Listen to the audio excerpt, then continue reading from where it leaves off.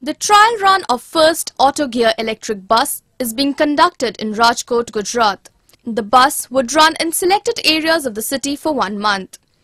After one month, the civic body will decide whether to continue the service or not.